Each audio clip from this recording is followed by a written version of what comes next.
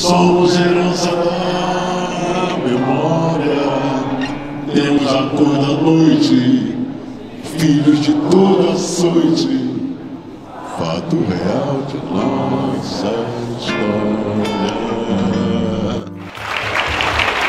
O que nós fizemos aqui hoje é o pagamento de uma dívida histórica é com muito orgulho, senso de responsabilidade, que celebramos este 1 Novembro Negro, em que o Brasil tem o Ministério da Igualdade Racial, como uma ferramenta para garantir a continuidade histórica das políticas públicas para que sejam cada vez melhores e cheguem em quem mais precisa.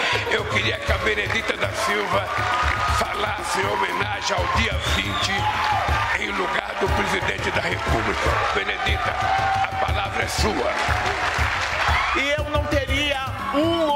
discurso a fazer, senão dizer meu reconhecimento.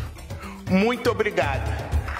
E hoje, para mim, ver titulando os quilombos, nós sabemos o que ele representa para nós. Um Brasil que promove a igualdade racial é um país mais desenvolvido, mais justo e democrático para todas as pessoas. E o amor será eterno novamente.